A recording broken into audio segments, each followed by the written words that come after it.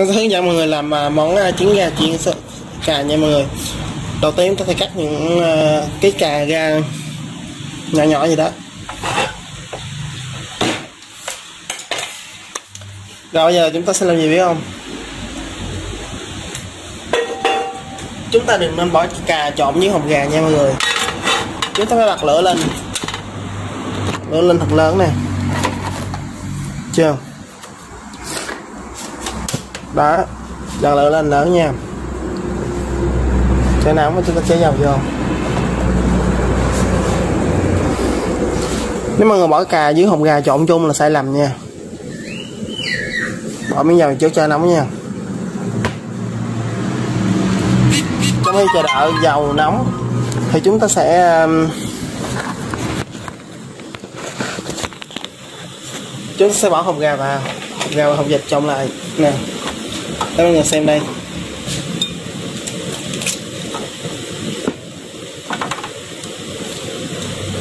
Quay gung quá sợ đây. À. Vì quay nó gần lửa. Chúng ta hạ lửa nhỏ lại đi mọi người chứ đợi lớn quá cũng không tốt. Tại vì à, dầu nó nóng rồi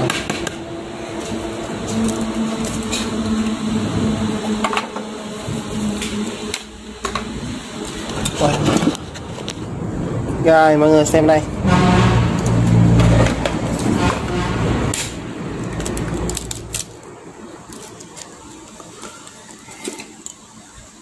À, cái gì vậy?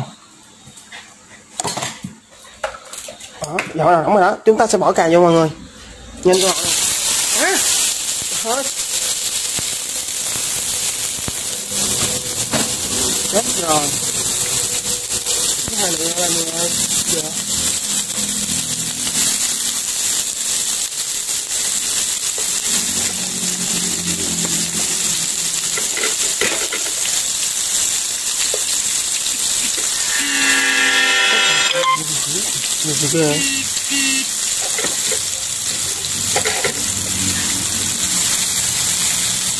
đó cho chúng ta chiên cho nó cái chắc của trái cà nó ra vị chua của nó đó mọi người.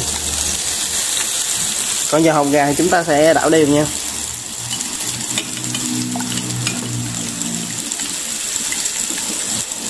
Nhìn ngon không, hấp dẫn không mọi người? Đảo đều chúng ta sẽ thêm gì vô biết không? Đó chính là hũ đường. Đây. Ta cho khoảng hai miếng đường. Ba miếng đường luôn.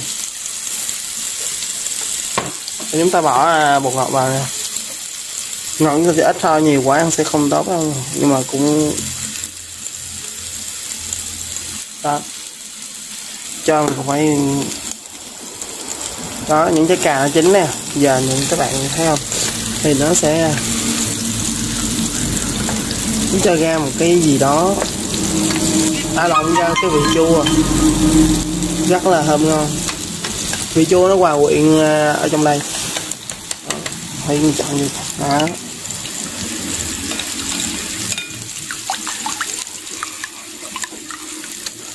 Không chiều vừa chưa nữa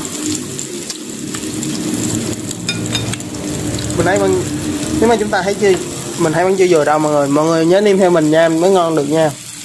Nêm tầm bậy là mới ngon nữa chờ đợi mình tí. Thì mình lấy nước mắm nha.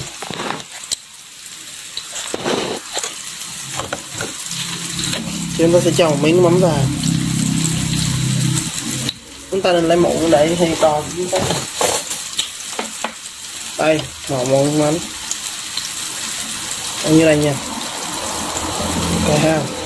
Miếng mắm này đó, muỗng mắm muỗng này nè.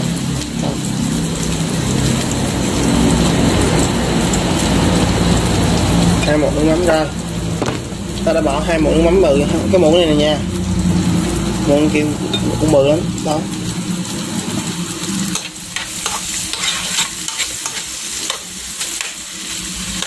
Cà nó cái mùi người ta.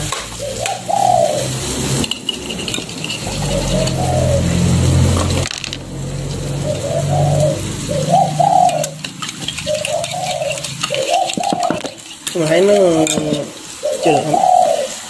Mình thấy nó chưa được hồi nãy giờ chúng ta bỏ ba muỗng đường mà nó vẫn chưa thấy đường, chúng ta sẽ bỏ thêm một muỗng đường nữa. Năm muỗng đường. Cái này năm muỗng đường nhỏ này nè, là thấy nó ngon à. Chúng ta phải đảo đều nó lên thì nó mới có gì.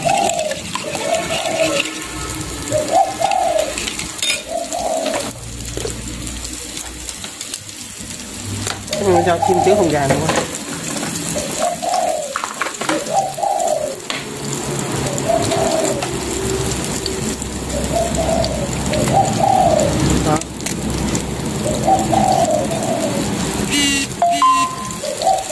Thôi là món gà này mọi người ai cũng biết làm đúng không? Nhưng mà làm theo kiểu của mình thì sẽ rất ngon nha. Nêm heo theo cái kiểu của mình á thì bảo đảm sẽ rất ngon.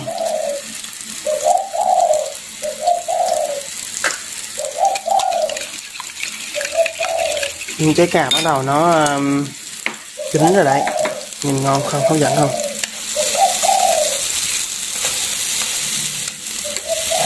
Cái mùa dịch này hãy chiên hộp gà ăn đi để tiết kiệm nha mọi người món ăn này giúp chúng ta tiết kiệm được một phần nào rất nhiều. Gai rất là rẻ luôn. Mà mình không ăn cơm nữa rất là tiết kiệm luôn. Đó nó đầu vàng chính, nhìn nó hấp dẫn luôn. Giờ chúng ta thể quay qua rồi. Quay nữa đang bị bệnh nên nghe giọng hơi kỳ đúng không nào?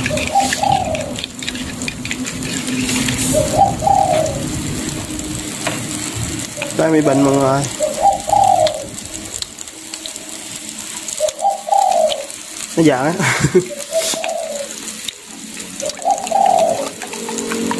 rồi khi à, thấy chín rồi đúng không? Đưa qua chơi cho nha.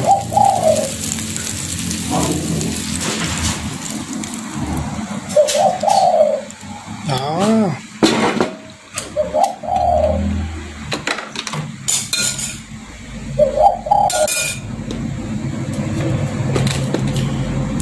Nhìn nó kìa ôi, sao kỳ vậy ta? À cho lửa lên đây.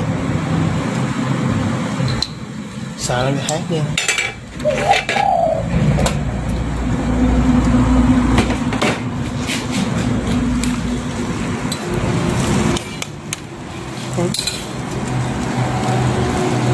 Giờ cái vị chua cà nó trộn vô rồi. Giờ ăn vô nó ngon luôn nhìn hấp dẫn không mọi người. Đúng rồi nhìn ngon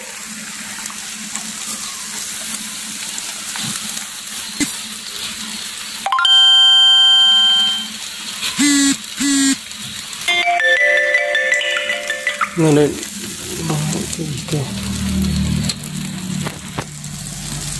y tế không báo luôn mà